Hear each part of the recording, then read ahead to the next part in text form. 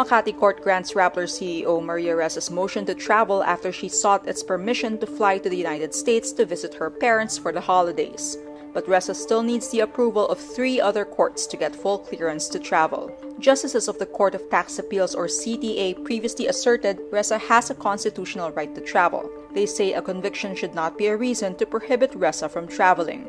This is because a Pasig court handling one tax charge expressed concern the journalist may be locked down overseas and be out of reach of Philippine authorities. But the CTA judges said Ressa can still attend the court online even from abroad. Meanwhile, Ressa enters no plea for her second cyber libel charge during a conditional arraignment on Tuesday, December 15. But the Makati Regional Trial Court Branch 147 enters a not guilty plea on her behalf. This is in connection with her tweeting screenshots of a Philstar.com article that was later taken down. The second libel charge was filed by the same businessman, Wilfredo Keng, who filed the first cyber libel case.